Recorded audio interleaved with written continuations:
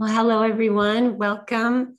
I'm Ingrid Spencer. I'm the Executive Director for AIA Austin and the Austin Foundation for Architecture. I want to welcome you to this event, the Women in Preservation Architecture, hosted in partnership with Preservation Austin. AIA Austin is the Austin chapter of the American Institute of Architects. And the foundation is our sister organization focused on public outreach, Together, we advocate, advocate for our community's built and natural environment and the work of Austin's design community. We also produce public programs, exhibitions, and experiences that increase awareness and appreciation of Austin's architecture and design and celebrate and cultivate design and placemaking leaders to demonstrate the power of design excellence. So today to introduce our speakers and to tell you more about Preservation Austin and what you will experience this evening, I'd like to introduce Preservation Austin's program and outreach planner, Megan King. Megan, take Thank it away. You. Thank you, Ingrid. Yes, as, as Ingrid said, I'm Megan King, Preservation Austin's uh, programs and outreach planner, and I'm so happy to be here and to share this space with AIA Austin, Austin Foundation for Architecture, um, and all of our lovely speakers tonight. Uh, Ellen Colfax, Tere O'Connell, Emily Little, Delia Meave, and Holly Arthur, excuse me, Holly Arthur, whose incredible Preservation Merit Award winning projects you'll hear about tonight. It's an honor and pleasure to be among Austin's most accomplished and talented women practicing in preservation architecture today. I'd also like to thank our generous public program sponsor, Colin Corgan, for making this event possible for us. Um, a quick note of housekeeping, Zoom allows you uh, to have different speaker views, which you can toggle in the right top right corner. A portion of this program contains multiple speakers, so you, you may wish to adjust that setting to your liking. After the pre presentations, we'll be hosting a Q&A session with our speakers, so please enter any questions that you have throughout in the Q&A box down below. We'll also be recording this presentation to share on our social media channels in the following weeks, so be sure to follow us there to stay up to date. We are at Preservation Austin on Facebook, Instagram, and YouTube. I'd like to start off by welcoming our Preservation Austin members in attendance tonight. Thank you so much for supporting the work that we do to empower Austinites to shape a more inclusive, resilient, and meaningful community culture through preservation. If you're not yet a member, I highly encourage you to join us at preservationaustin.org. While you're on our website, you can check out the host of amazing programs and initiatives that our organization has going on, including our 2021 virtual homes tour, Rogers Washington Holy Cross, Black Heritage Living History, premiering June 17th. We're really excited about this, this year's tour and hope you can join us. Tickets are on sale now on our website. And now on to tonight's program. As I mentioned, all three of the projects you'll hear about tonight have received Preservation Merit Awards for their exemplary work stewarding Austin's historic fabric. Established in 1960, our, our annual Preservation Merit Awards program honors visionary approaches to preserving our city's unique architectural, cultural, and environmental heritage. This year will be our 61st annual award season, and Austin looks very different than it did back then, as does historic preservation. So while we're still honoring the incredible projects that you might expect, our awards program offers an amazing opportunity to shine a light on a range of projects that represent the diversity of our city. Some recently awarded projects of ours include For La Raza, a multi-generational community-based mural restoration at the Holly Street Power Plant, Avenue C redevelopment in Hyde Park, a wonderful example of how to achieve density in a historic district, and St. Edward's Holy Cross Hall, a project that blends the contemporary and historic to gorgeous effect. By recognizing outstanding individuals, businesses, organizations, and institutions engaging in a plurality of diverse preservation projects, we hope to inspire others to carry on this important work. Each year, Preservation, Preservation Austin selects a jury of professionals from the preservation, design, and nonprofit worlds to select exemplary projects within three award categories, preservation, stewardship, and special recognition. Calls for nominations for the 2021 award season will open up this summer and winners will be announced this fall.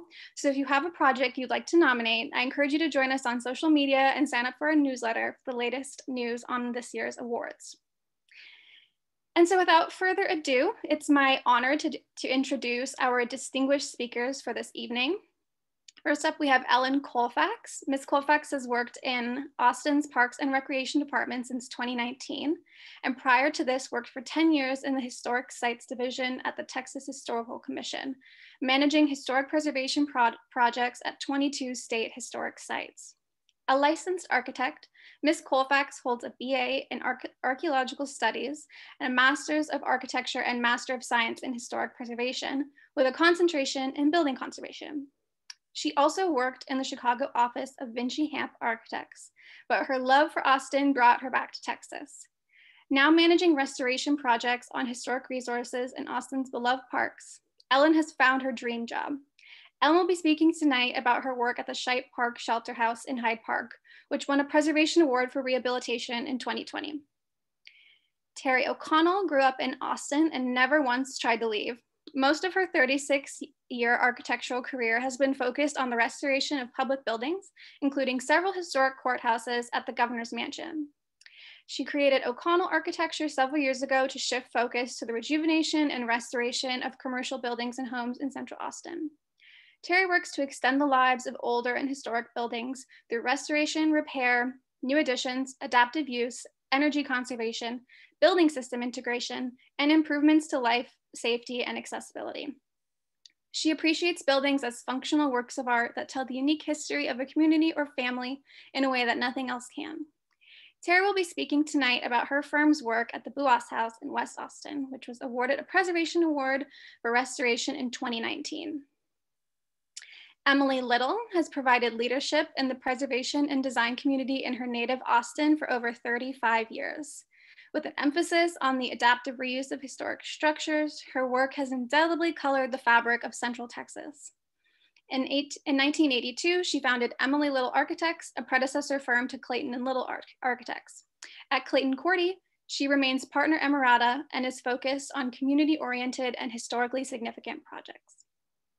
A native Austinite, Delia Meave is, pa is passionate about historic preservation and adaptive reuse projects that highlight and cultivate the cultural integrity that is so highly coveted within the Austin landscape. With over 14 years of experience in design, she approaches projects pragmatically to ensure building code and zoning regulatory compliance, realistic schedules, affordable value engineering solutions, and quality and thorough architectural documentation. Delia worked at, for Clayton Korte Architects numerous times throughout her career, first as a seasonal intern and then again as a, as a project manager, totaling six plus years of service. She studied historic preservation at UTSA while getting her master's of architecture and holds a Bachelor of Environmental Design from Texas A&M University. Holly Arthur is the founding principal at Studio Ha with 20 years experience in, in managing commercial, residential, and preservation projects. She received her bachelor's degree from Texas A&M University and her master's from the University of Texas at Arlington. Holly lived and worked in Vancouver, British Columbia for several years, working with the prestigious firm Bing Thom Architects and Dialogue. She then returned home to Texas to work with the local award-winning firm Clayton Korte. Her, di her diverse creative background allows her to find success in various types of projects. Emily, Delia, and Holly will discuss their project with Clayton Korte at Commodore Perry Estate, honored with a Preservation Award for Rehabilitation and Cultural Landscape in 2020. And so with that, I will now let Ellen take it away. Thank you. Hi, everyone, and welcome. I'm very excited to be here tonight. First, I'd like to say how much we appreciate receiving the Preservation Merit Award from Preservation Austin for this project. From everyone at Parks and Recreation, um, but especially from the Historic Preservation and Heritage Tourism Program led for, by Kim McKnight and the team that works hard to preserve, interpret, and promote PARD's historic resources, we say thank you. Tonight, I'll give you an overview of the restoration of the Shipe Park Shelter House. This simple building is dear to the surrounding neighborhood and community, and it's an important part of the history of Austin's parks as one of a handful of shelter houses built in the 1930s. A historically significant structure, it's a contributing resource to the Hyde Park Historic District, listed on the National Register of Historic Places. Located in the Hyde Park neighborhood, north of the University of Texas campus, the rustic log shelter house was built in 1930 in the newly acquired park to provide restrooms, storage, and a wide dog trot breezeway for recreation and performances. The design of the building is attributed to Hugo Kuehne, a notable Austin architect who served on the City Planning and Zoning Commission, as well as on the Park Board and designed many commercial, public, and residential projects throughout his years of practice in Austin. Uh, the photo in the center, the university stu studio photo show, shown here, um, was one of several professional photos taken of shelter houses. And they are part of Kuehne's personal papers in the collection at the Austin History Center. Um, here on the left in the inset photo, you can see the popularity um, of the new park, uh, showing a community night gathering in 1931.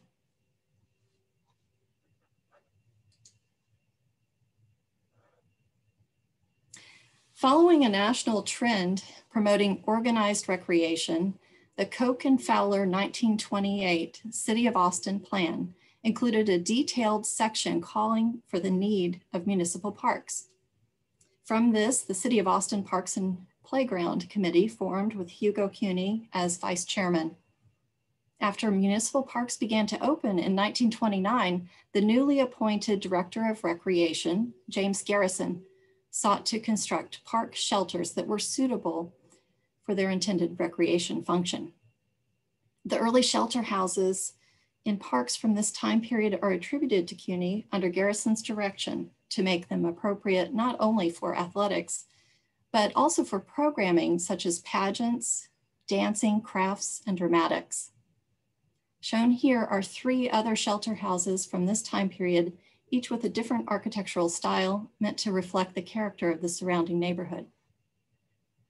The minimalistic structures mark a significant moment in park expansion and recreation theory for the city of Austin. Here's a photo from 1941. The Shipe Park Shelter House is unique among the other PARD shelter houses because of its rustic cedar log exterior. The design seemed to emphasize the nature of the surrounding Hyde Park neighborhood when it was built, and some local sources attribute it to a log cabin that stood on Avenue G um, at the time of its construction.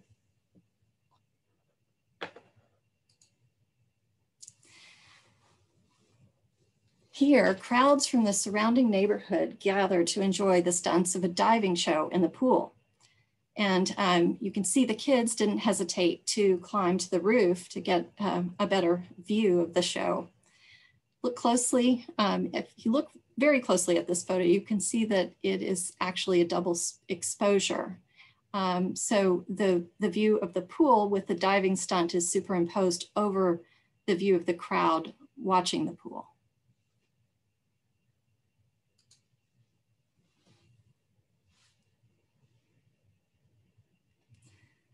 The log shelter house provided a backdrop to the activities in the park throughout the decades. In the photo on the left from 1960, you can see changes in the playground with concrete ping pong tables under the trees. And then in the photo on the right from 1972, a hula hoop activity um, showcases a boy who went to Disney World for the national competition.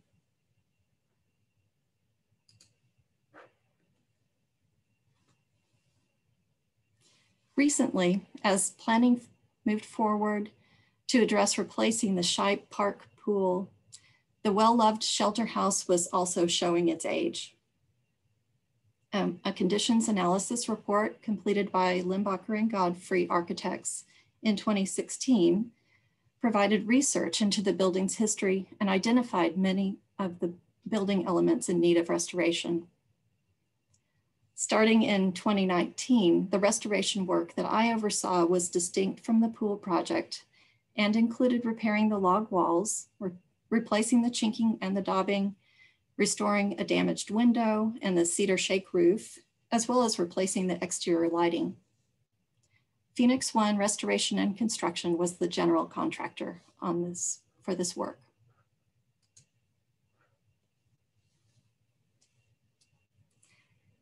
Here are some of the photos of the log repairs. Um, the cedar log walls have saddle notched joints and so, several of the log ends had broken off at the corners. Guided by the National Park Service recommendations and preservation brief number 26, which is called the preservation and repair of historic log buildings, Dutchman repairs were used to splice in new wood where the log ends were missing and entire logs were replaced where the deterioration was severe throughout. The crew from Phoenix One had, has experience working on cabins 100 years older than this one, and their skill was needed to make the repairs fit discreetly into the historic fabric. One of the, one might be hard pressed to find the repair um, in the left-hand photo. The log walls wrap a light frame lumber structure within the pens and therefore are a modern interpretation of a log structure.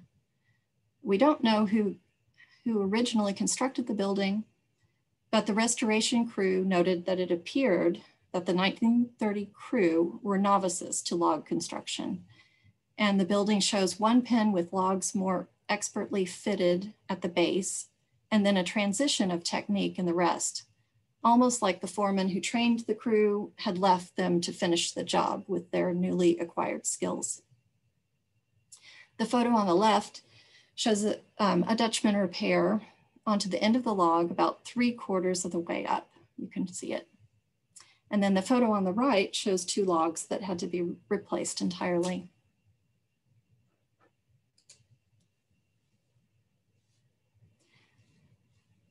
In keeping with the rustic log style, simple window openings with cedar louvers provided ventilation and privacy for the unair conditioned 1930s park restrooms. One of the windows on the north facade had been damaged by a fire, charring the louvers, uh, since the restoration's emphasis was, was to retain as much of the original building materials as possible, the carpenter carefully salvaged the frame and replaced only the burned louvers and one jamb. New cedar was cut to match and the louvered sash was reinstalled. And all of this work had to be done prior to the daubing installation in the log walls. So on the left, you see the damage, on the right, the the restored.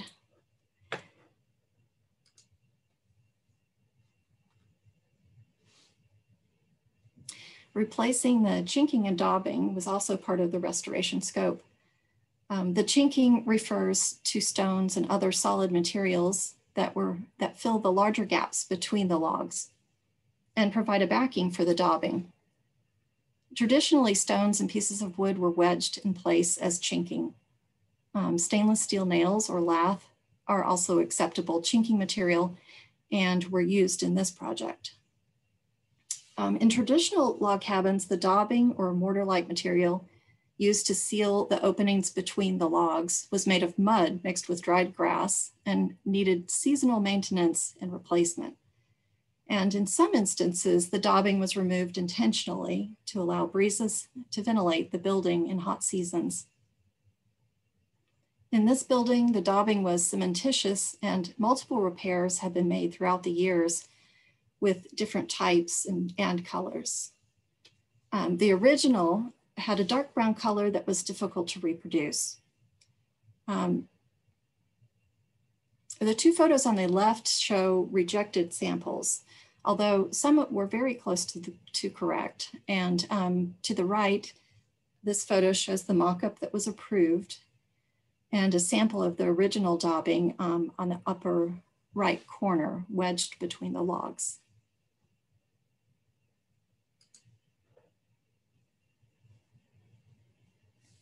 Here are images of the cedar shake roof being installed. The shakes were um, installed over a ventilated uh, underlayment, and the courses were interspersed with strips of felt as recommended by the Cedar Shake and Shingle Bureau. Copper flashing was used at the valleys and the drip edge. Um, in the photo on the right, you can also see the new exterior lighting that was chosen to complement the style of the building and provide light at the restroom door.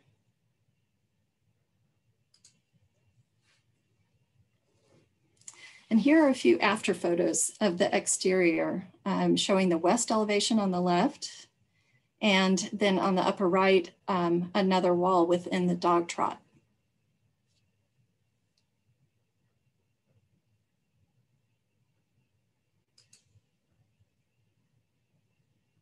And here it is completed. This project wrapped up in mid-February 2020, um, just prior to the beginning of the pandemic. An event planned to celebrate the completion had to be canceled.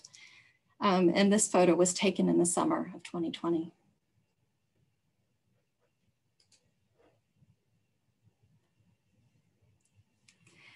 It really takes the hard work and varied skills of so many people to guide a project to reach a successful completion.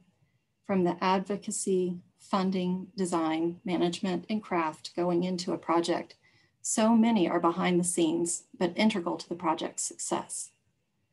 Here are representatives from the two groups that equally funded the restoration work, the Austin Parks Foundation on the left and Friends of Shipe Park on the right. Um, well, we've come to the end of my project summary and thanks so much for listening. Now I'm gonna turn it over to Tere O'Connell. Hi everyone. Uh, thanks for joining us for this presentation today. I'm Tere O'Connell with O'Connell Architecture. I'm here to tell you today about the John Otto Buaas House restoration at 806 Baylor Street. Um, the house was uh, constructed, our project started in 2016 and it was completed in late 2018. Well, our firm was the restoration architect. Bill hablinsky Architecture uh, did the new design work on the back of the house, and Joe Pinelli was the general contractor on the project. Next slide. And um, this house has an amazing history. The family itself, the Buaas family, has been in Austin since 1851. John Lawrence Buaas and Helen Bastain Buaas uh, came to Austin in 1851 and uh, started their family here and created businesses. Uh, and they had a son, John Otto, who married Alma Buaas, and they had two sons, Otto Hugo, Hugo Buaas and John John Lawrence Buaas Jr. Um, we were able to find all of these wonderful photographs through ancestry.com as we were doing the genealogy of the family and to try to find out more more about the history of the family. Next slide. The John Lawrence Buaas had a beer garden on uh, West 6th Street before that was cool, um, or, maybe he started the whole movement. Um, it was around the area of Flower Hill, um, and it was right down the street from his own house. I'm sorry, this is a terrible image, but it's the only thing we could find of the of the. This is a rendering of the the uh, beer garden that he had there on West 6th Street. Next slide. John Lawrence Buaas, uh, his family home is uh, located on Patterson Avenue, 708 Patterson Avenue. This is the house as it sits today. It is an Austin landmark as well, and it's been changed over time, but um, but it's an Austin landmark because it's on the property sort of uh, cat corner from the street. Um, it's kind of interesting sighting because obviously it was built before Patterson Street was constructed, and so it looks like it sits oddly on the street, but really it just faces down to Sixth Street. And they had the property going all the way down to Sixth Street at that time that connected over to the beer garden. Next slide. So um, John Otto Buaas, their son, uh, created his uh, Buaas and Sons uh, construction company and general contracting. They uh, were a very successful business. Uh, they they marketed materials in their store, including galvanized iron cornices, pressed metal ceilings, furnaces, and roofing copper. In fact, this company was installed the first copper roof on the state capitol, and then 40 years later installed another roof on replace the copper roof on the state capitol. They went on to be in business for over a hundred years and the company finally closed um, in the early 1980s they were uh, leaders in the community. Both uh, john otto and his sons and then their children were leaders in the community for years and years, and they won all sorts of awards from the Chamber of Commerce and uh, local community leaders for their business and success over the years in their business. Next slide. Um, so this is a historic photograph of the John Otto Buaas house. I mentioned to you that we had done some family genealogy uh, what we have found to be really successful, if we can find uh, the genealogy of a family, a lot of times a descendant will be on Ancestry and have historic photographs of the family home. Um, we couldn't find it that pathway in this particular project.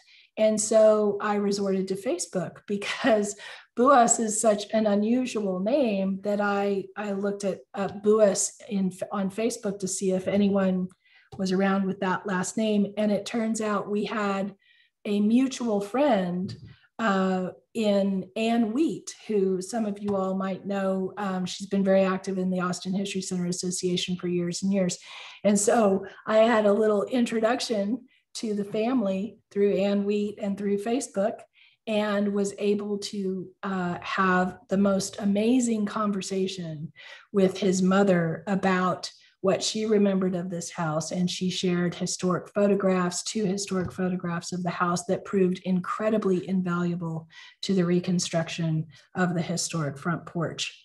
So as we're looking at this here, you can see all the original windows and the shutters. The second floor shutters are closed. That's what you know, the, the shutters were closed to um, keep the house cool in the summer uh, a lot of times to get the keep the sun out of there. But you can see in this photograph, we've got the um, uh, wire fence that's right at the sidewalk level.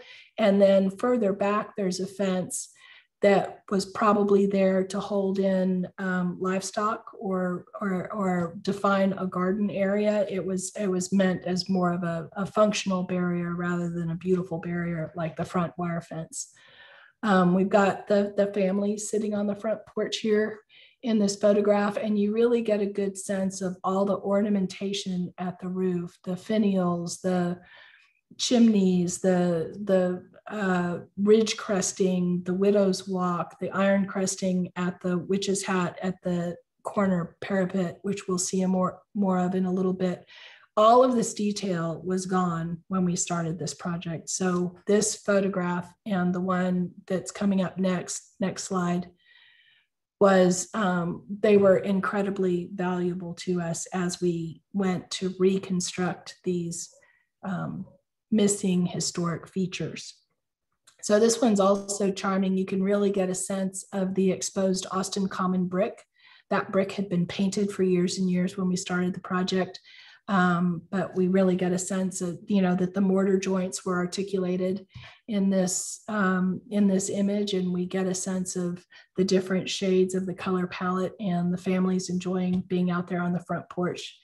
And we can see that this was um, before cars were available. Um, the house was constructed in 1902. It was the first house on its block uh, at at the court at uh, between 8th and 9th on Baylor Street. It was the first house on its block. So you can see a lot of uh, land around them that they enjoyed prior to the construction of the rest of the neighborhood. Next slide. Um, so looking here at um, some of the details of the house, we zoomed in in Photoshop and were able to really hone in on the details, the ridge cap, the imbricated sh uh, slate shingles on the roof. All of this was, was not existing when we started the project.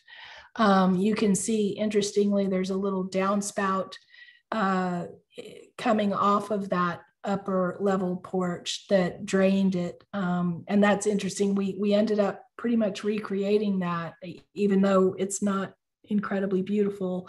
Uh, we were we were true to that drainage. Um, it was a good way to drain the porch. So there you go. um, we also uh, could see the height of the original chimneys. Um, the chimney that you see in the lower right hand corner had been lopped off a bit. It was about half as tall as it shows in that photograph. So we were able to count bricks and um, reconstruct that chimney to match the original appearance. Next slide. So this is the way the house looked um, on the left when we started the project. It was obscured by this um, enormous uh, aggressive soft-wooded tree that was um, in danger of collapsing anyway. It had been subdivided into six different apartments over the years. Uh, starting in the 1950s, it just kept on being subdivided more and more. And so the second floor porch had been enclosed. Um, the, the first floor windows had changed. You can see there's three windows there at the first floor. Um, and historically, there were only two window, uh, one window there, excuse me, one window there, large window that we went back and reconstructed. We still have the original front door though, which is great. And we still had the original uh, cornice detailing around the top of the porch, which you can see with the little um, medallions that were articulated. The columns were all uh, still there at the first floor. We reconstructed them at the second floor, but the first floor columns were all there. Uh, the handrails had gone, uh, so we were able to reconstruct those, but you can see remnants of the original building, uh, but uh, a lot of it um, needed to be reconstructed based on the historic photographs that we saw. You can also see down at the lower uh, right corner how sad the poor thing looked after we cut down the large tree that was obscuring everything and then we realized how um, you know how much help that the building really needed next slide we started with a condition assessment and we went through with a fine tooth comb you can see here this is the third floor balcony at, coming out of the attic um, some really charming uh, French doors that were very thin and very fragile, um, led to the uh, third floor balcony. And uh, you can see that all of the slate shingles had gone, they've been replaced with composition uh, shingle roofs. You can see the shorter chimney that I was telling you about from the previous photograph. This is the shortened chimney that you see at the top right hand corner at the top of the roof, um, where historically there was a widow's walk, uh, a, a, skylight had been put in its place. They had finished out the attic space as living space. It was a really interesting apartment. We'll see some more photos in a minute of this space, but they had brought light in uh, with a skylight up here. Um, so next slide you can see here, this, this uh, on the left-hand side is the apartment up at the third floor. Uh, the way uh, it was when we started work. They had done a lot of structural reinforcing to open up the space. They had a lot of light coming in through the skylight. Um, and then but the, down uh, at the first floor uh, you know there had been a lot of changes to the building several kitchens had been added of course several bathrooms several later finishes of tile and sheetrock and and um, obstruction of historic features and finishes uh, throughout the house that had occurred over the years next slide um, the there was a beautiful historic fireplace down at the first floor. This was in the uh, main uh, living room. As you entered the home, you would have seen this fireplace um, very quickly. On the right hand side, you can see there's a big blank wall here. Why would we include that? Well, they had put that wall in to enclose the original staircase. They had walled that staircase off and created a new entry on the front of the house for a second floor apartment entry uh, independent of this first floor unit. So we were able to take this wall down and reconstruct the historic floor. In this image, you, you start to see some of the pressed metal ceiling. We'll see more of that in the next slide, please.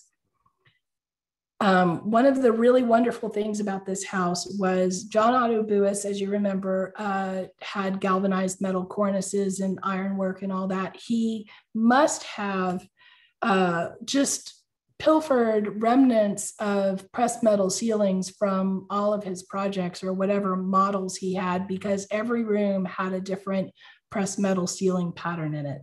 It was really very charming. Um, and so you could, you know, there was there were some that were very unique. Uh, the red image here doesn't come out so well, but that was a kind of a flat uh, scrolled image, scrolled pressed metal ceiling. And then there were other more elaborate pressed metal ceilings in the rest of the house. We're looking at the, the main ceiling that I thought was so beautiful. Was in the dining room and living room, and it had the full main field border, uh, you know, and, and cornices all around the perimeter. It was just truly a gorgeous ceiling. It had lead paint, as most of these historic buildings do. So they were blasted with walnut shells to get the paint off of them carefully. And you can see on the right hand image here that we really didn't lose any of the original detailing. It all um, came clean very nicely. Next slide. There was some historic detailing. Um, the original finishes inside the house were shellacked, uh, clear finished wood. Um, we, we did um, a little bit of paint investigation inside the house and found that finish underneath this newel post on the doors, on the frames. Um, and so that was that was a lot of fun to uncover. And then at the apartment up in the attic, we also um, were looking at ways to reuse that space and still meet code requirements for head clearance and everything like that. So we were we were looking at what to restore and what we could do to save um, as much of the original building volume as possible so it could be reused. Next slide. Here we're looking at the other side of that uh, window at the third floor. You can see the pressed zinc decorative metal at the gable end. And you can see this charming, charming Palladian window with this lovely air conditioner that's just you know really asserting itself in the in the uh, in the gable end making a statement which we removed uh, we've also got the imbricated slate shingles at this gable end. These were the only remaining slates that were available for us to access um, in the project to know what the original slate finish was, which was purple gray uh, slate, likely from Vermont. We found a good match from Vermont.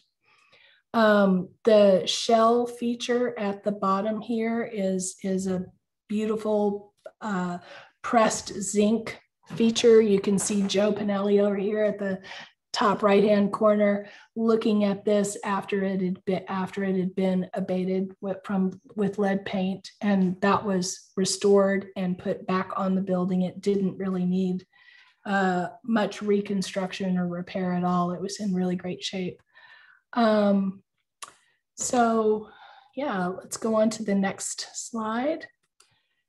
We did a paint analysis. Um, you can see a lot of the, you know, this this uh, green and red and and um, sort of a, a yellow ochre color. Um, those are typical of the historic uh, paint colors um, of the period from 1902. I looked under them to see what other colors we could find and found that really, I think um, it was attempted to reconstruct the historic paint scheme as part of the most recent painting that these are these are very close to the original paint colors that I found under many other layers of paint beneath them. It had been this color scheme originally. Uh, you can go on to the next slide.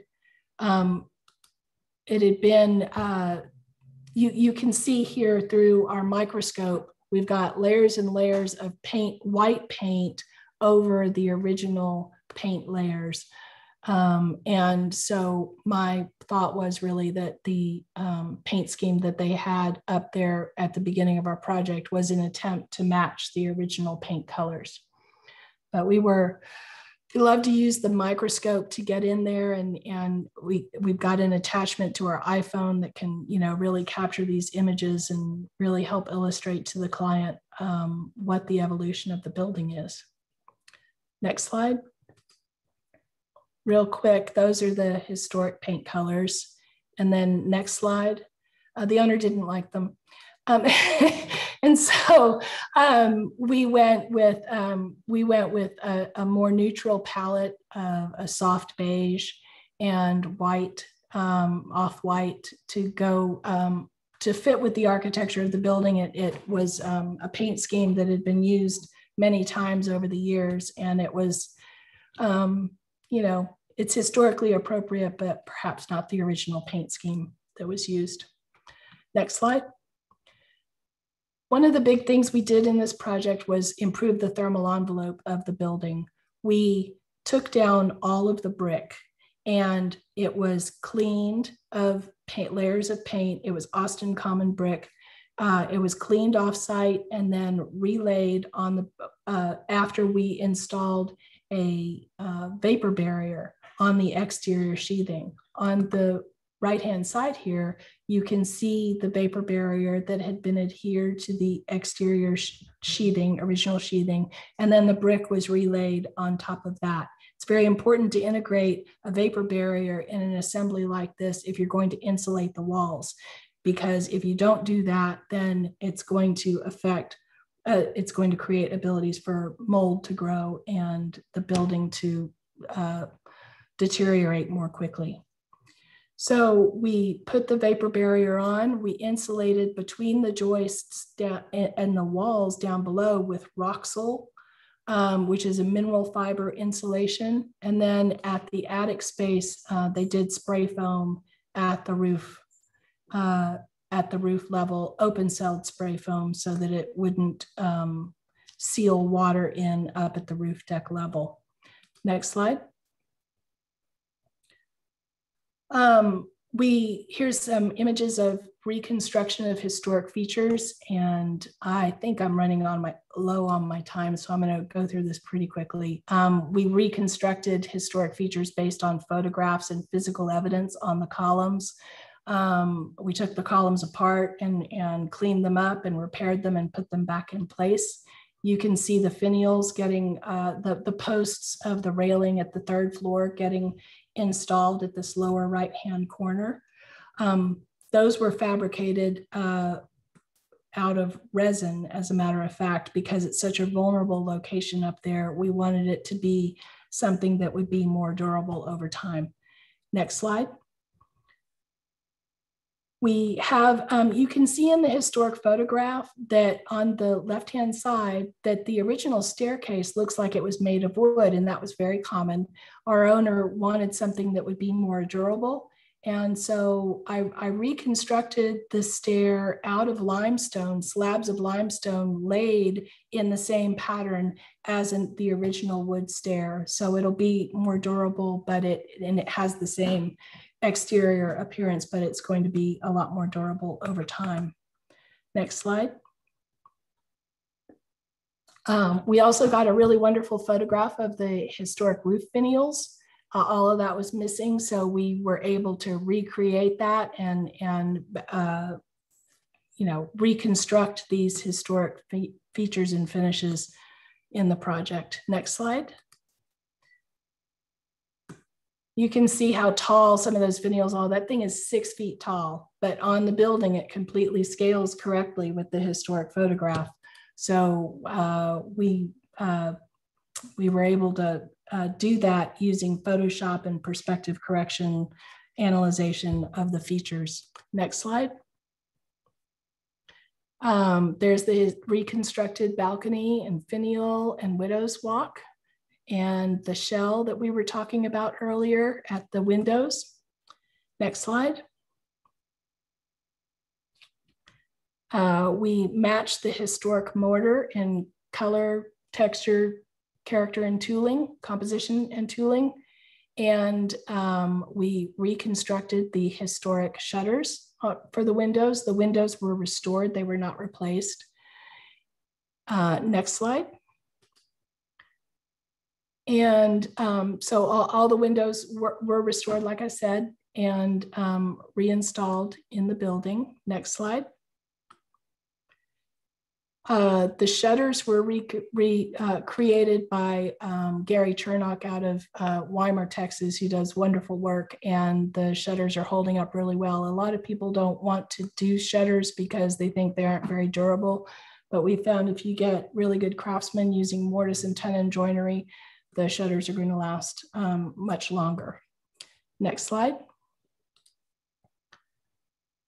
Um, we have, um, I told you Bill Hoblinski was the, the uh, architect for the addition. This is looking at the back of the house. Um, we had, he used metal windows for the new addition. He added a band, a steel band under the cornice to delineate where the new addition begins.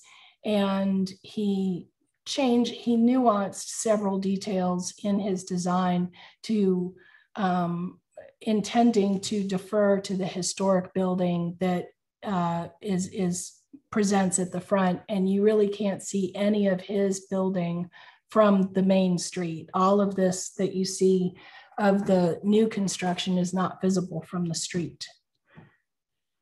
Next slide. And this is our restored building at um, 806 Baylor. And I appreciate um, y'all's attention to this. And I'm going to turn it over to Emily Little and let me know if you have any questions at the end of the at the end of the session. Thank you.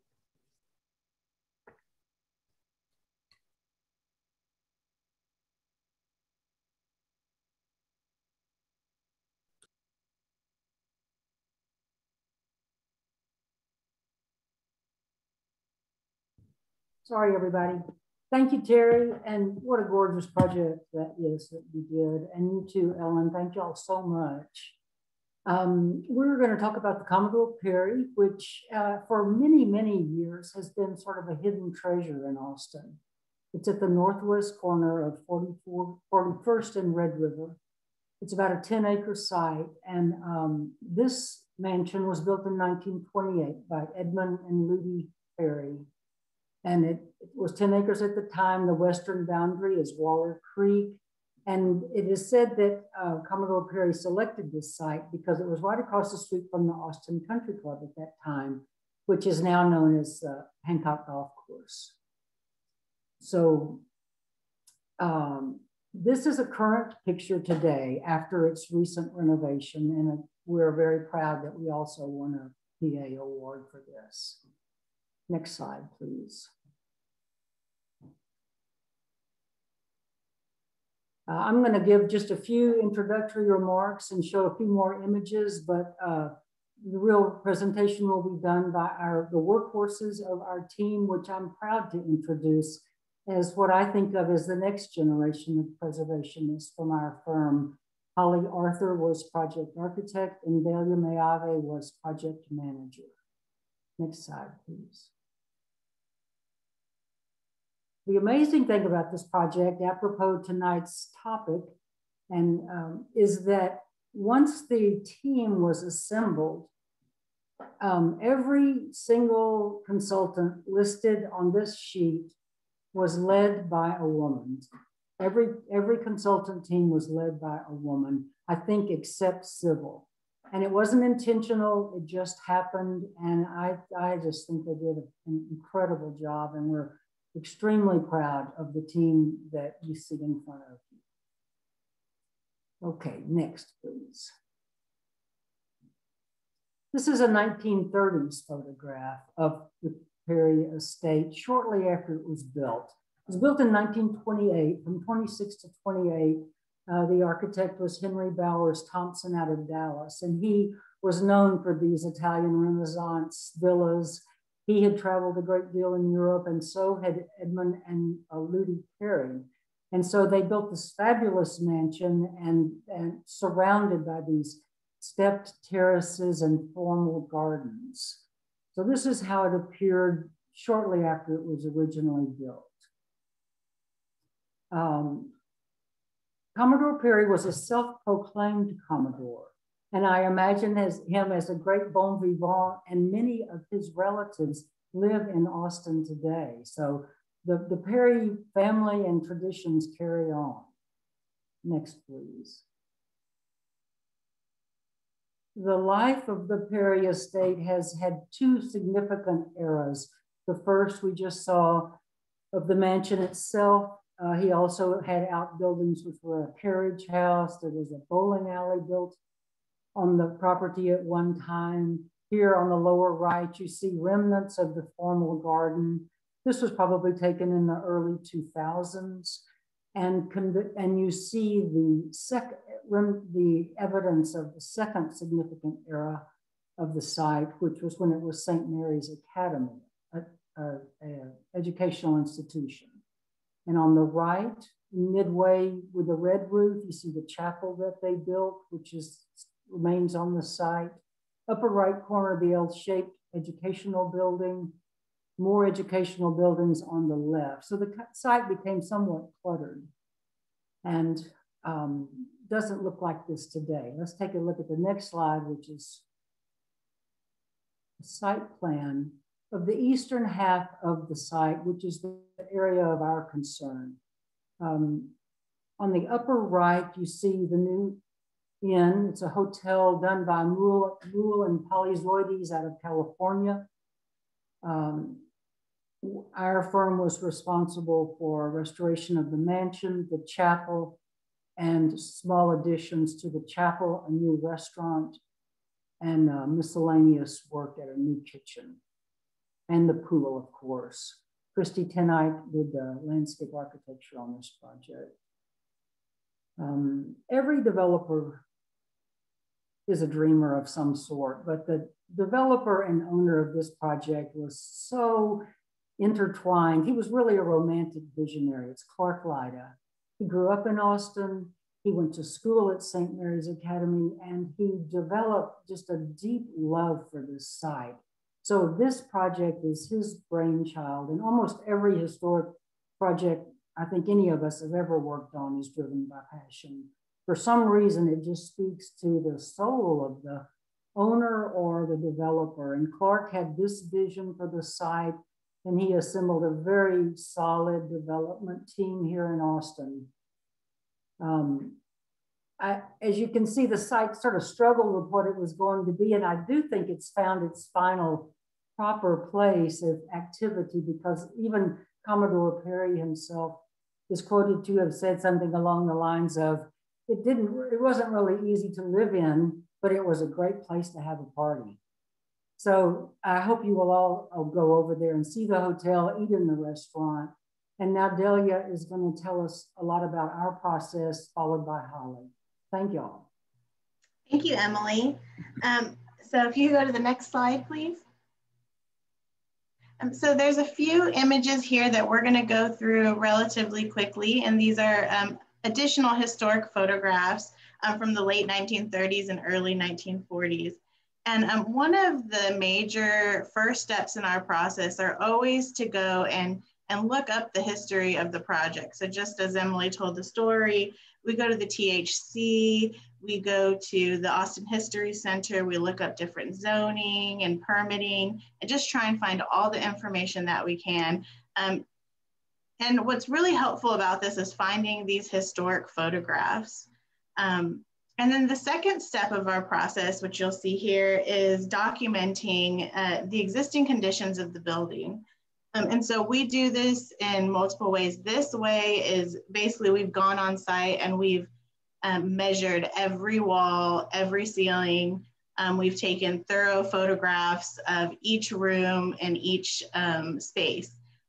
Another way that we've done it also as well is with 3D um, laser scanning photography. Um, so that is newer technology that we've uh, been, been utilizing in historic projects as well. You can go to the next slide.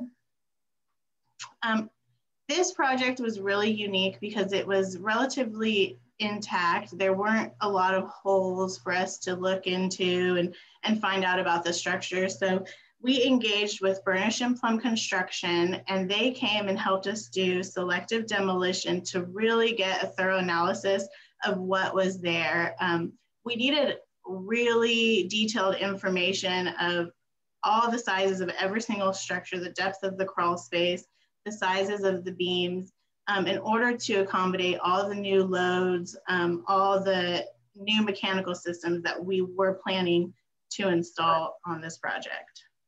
Go to the next slide. So a little bit of technical information. This project did get um, all new um, mechanical, electrical, plumbing systems that got new fire sprinkler systems. And so we utilized the spaces that were already there, um, but we also um, had to excavate in order to accommodate a lot of this information, uh, uh, a lot of these systems. And Rogers O'Brien had to um, come in and hand dig under the crawl space in order to accommodate uh, these systems. Um, so this is an image of the crawl space duct plan. The first floor was completely fed through the crawl space. So all of these systems had to fit under there. Go to the next slide.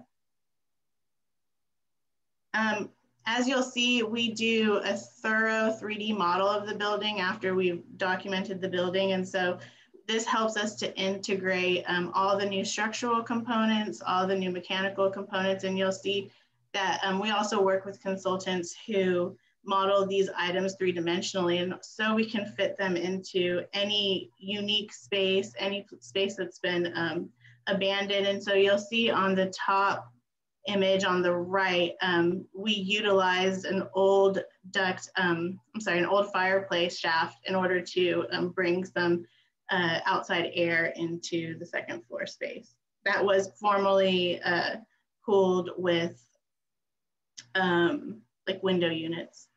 You can go to the next slide. So here's just an image. You'll see it looks very nice in here, but we wanted to minimize any kind of um, uh, damage to the existing ornate wall paneling. And so you'll see how they integrated uh, new uh, wall vents into the here. And so the, the air is basically coming from underneath the crawl space into this uh, library space. Go to the next slide. And then same here, you'll see we had a very um, ornate ceiling that we wanted to preserve. And so you'll see that the fire sprinkler systems are there, but they're very minimal. And those had to be installed from above in order to maintain the existing historic ceilings. You can go to the next slide.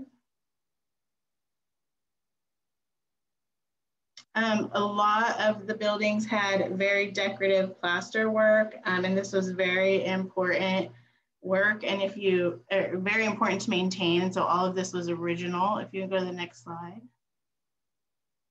And you'll see here how Rogers O'Brien took, uh, took quite a bit of time to tape out exactly where all of our um, penetrations were going. And they made sure to consult with the architect just to find the perfect space in order to place that um, on these uh, unique ceilings.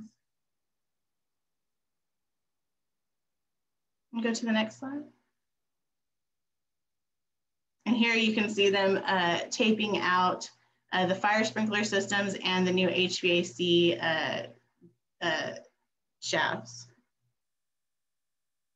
You can go to the next slide. And then I'm gonna pass this over to Holly Arthur and she's gonna tell you a little bit more about the project. Thanks, Delia. Hey, everybody.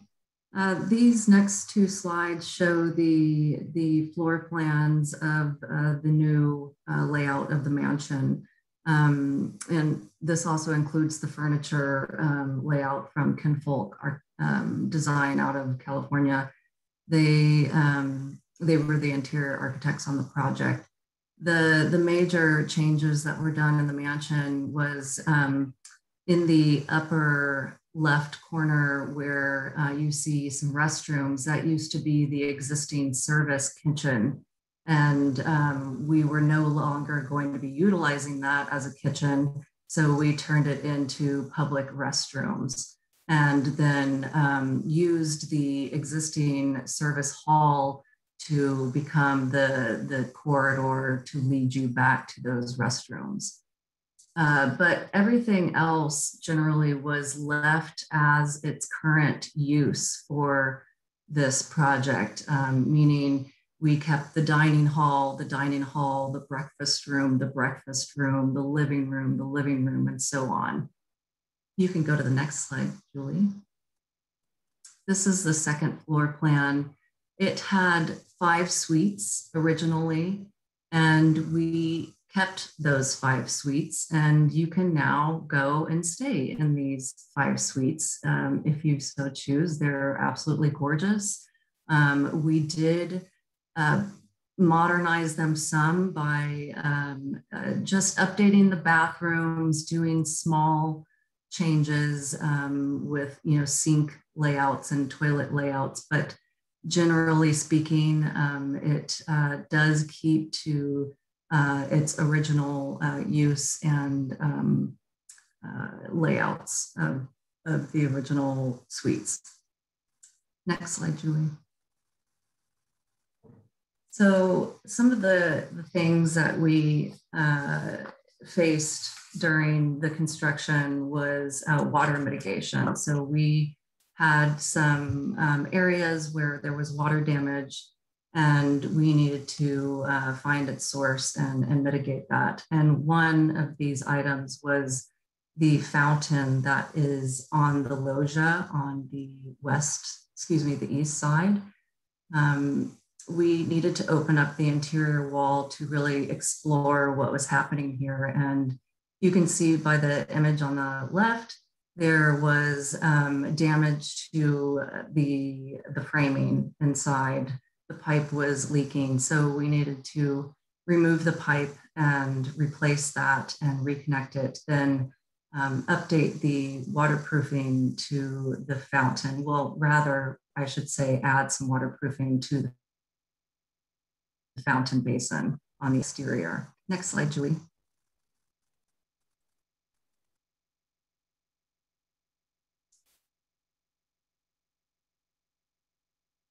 Julie, are you able to go to the next slide?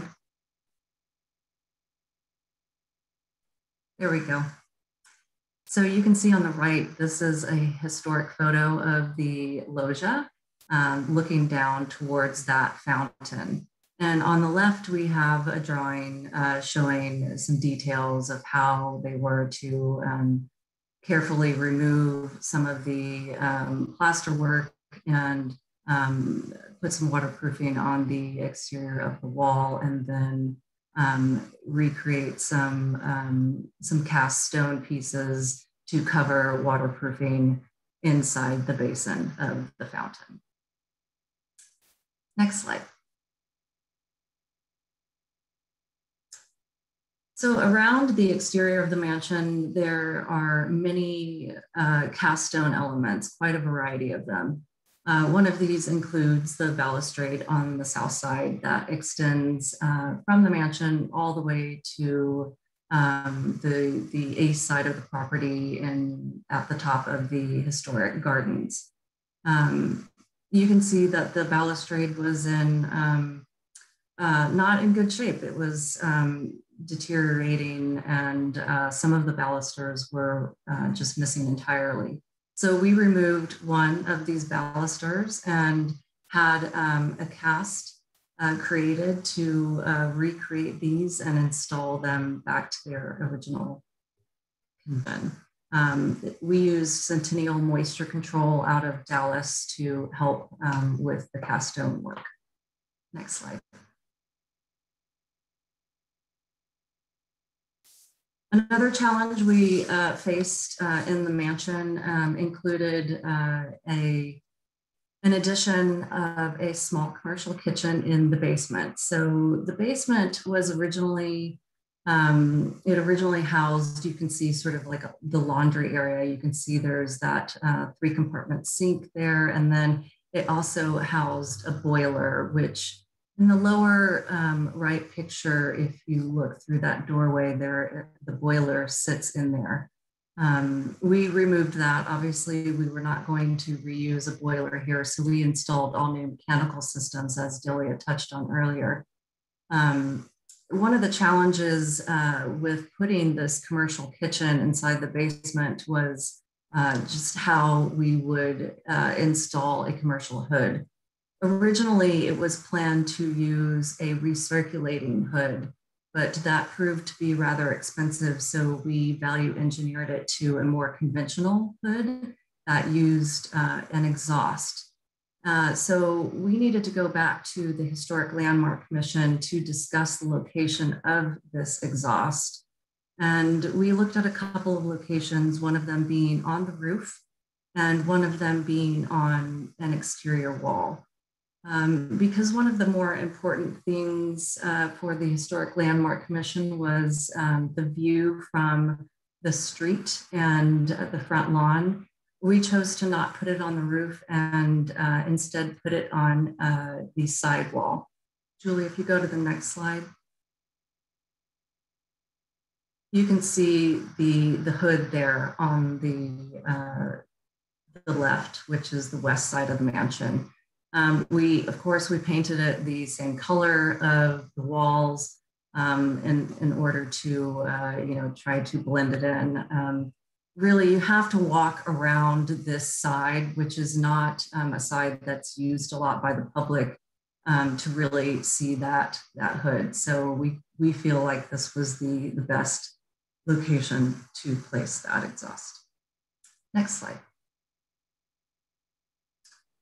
Another element to the development um, included a pool. Um, hotel, um, you, you need a pool. And uh, this gorgeous oval shaped pool was designed by Ten Eyck Landscape Architects. And um, they uh, found what I think is the best location for this pool on the site, which is in the lower west portion of the front lawn. Um, again, Historic Landmark Commission um, wanted to discuss the, the pool and its location.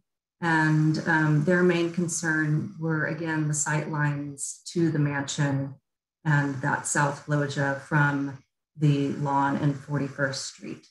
If you go to the next slide. This diagram done by Ten Eyck Landscape Architects um, shows those sight lines from 41st Street looking up to the mansion. You can see that the pool, again, is tucked down in the lower portion of that lawn to help uh, with those sight lines. And if you go to the next slide,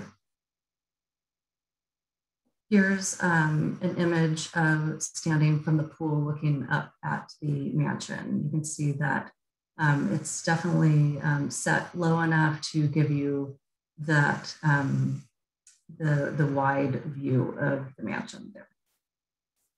Next slide.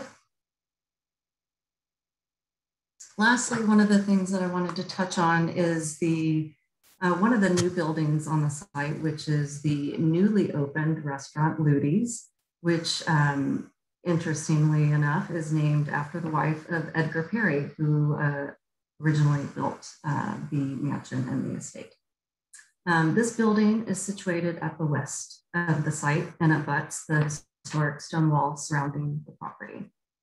This building was designed to be a blank canvas for fig ivy to envelop and disappear into the gardens, sort of like a garden folly.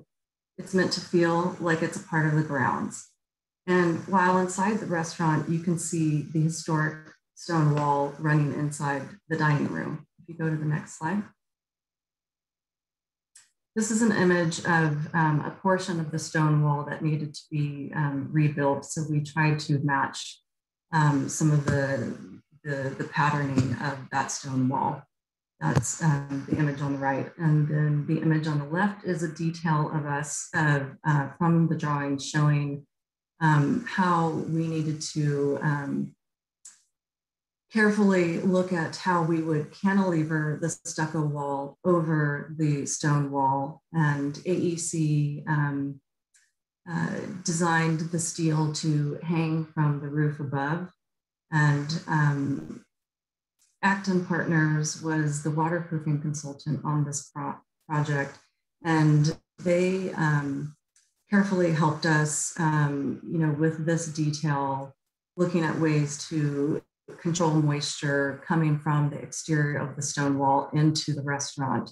And we did this um, with a couple of uh, ways. We used a siloxane, um, let's see, it's a, it's a siloxane, I think, silane blend of sealer on the exterior of the wall. It's um, non-staining.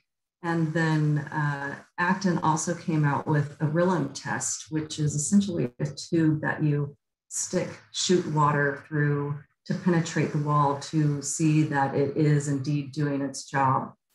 And, um, and then additionally, we embedded the flashing on top of the stone wall in a non-staining sealant. Next slide. This is an image showing the stone wall exposed on the inside. Next slide. This is an, another image on the interior, um, looking back at the bar. And the idea is that um, the restaurant is, again, you know, it's abutting the garden. It's supposed to be, um, uh, you know, feeling like you're inside the garden. So there's a trellis above that hides all of the mechanical systems and um, and then there's plants hanging from it. And in fact, today, if you go, you would see that they've added just that many more plants and greenery inside. It's quite um, lovely and romantic. Next slide. You can start to see the addition of more plants here. And um, we, we added a lot of windows to this uh, restaurant um, and to the walls that overlook the historic um, gardens. Next slide. This is sitting out um, on the terrace of the garden restaurant, or Lutie's rather, looking out over the estate. Next slide. This is standing inside the Italianate gardens, looking back at the chapel and the new restaurant and then beyond to the inn. Next slide. This is also standing in the historic gardens, looking back at the, at the mansion and chapel, and then you can see the pool to the, um, all the way over to the left. Next slide. Looking back at the mansion, next. This is uh, looking at what's now the used as the main entry into the mansion. One of those urns there, interestingly enough, was um, was not there when we started this project, and we took the existing urn and recreated that. Next slide. Another view. Next. This is the South Loggia we did add um, the in the distance beyond. We did add a trellis covering the the walkway between the breakfast terrace and this main um, terrace at the south. Next slide. This is standing at the garden, or excuse me, the breakfast terrace, looking back into the breakfast room. Next slide.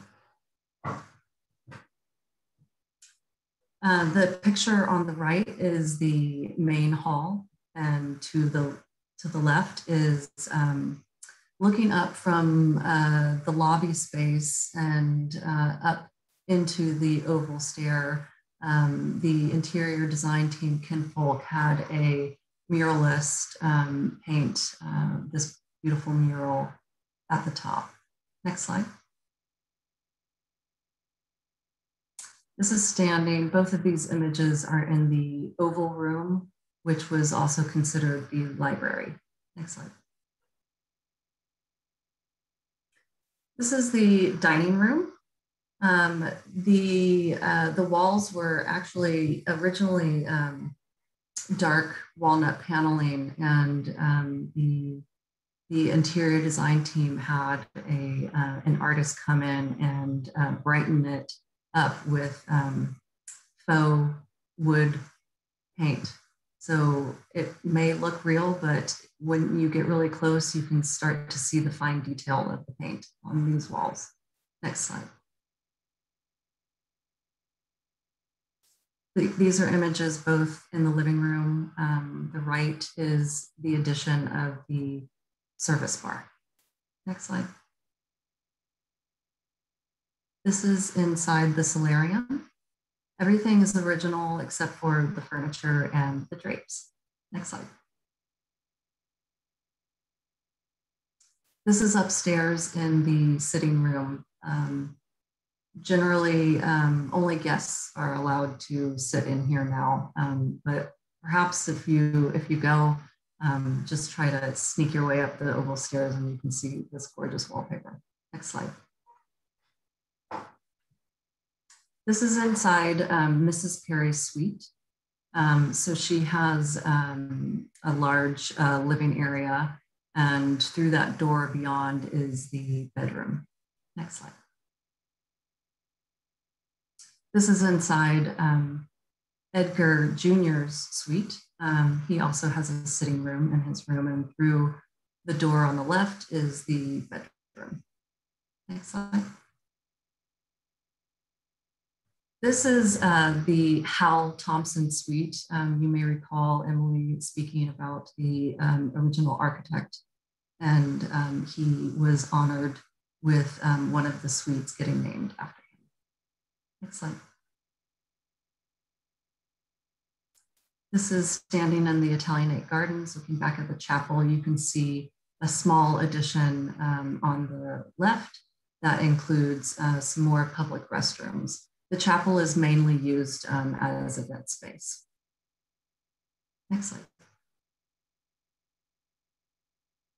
This is uh, an image of the carriage house. Um, very little was done um, here to the carriage house. Uh, we the, the only additions that we did was to add um, the railings you can see at the top. Um, we just added some small railings to help bring that up to code. Next slide. Oh, and that's it. Thanks everybody. I'll hand this back over to Megan.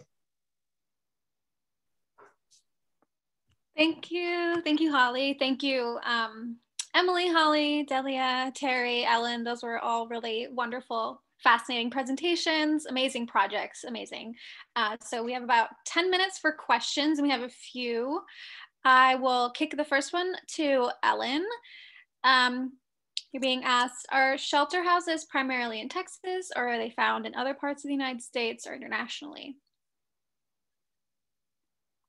Um, well, there's definitely a movement um, throughout the nation for um, increasing recreation as leisure time um, increased at the um, in the 20s and 30s.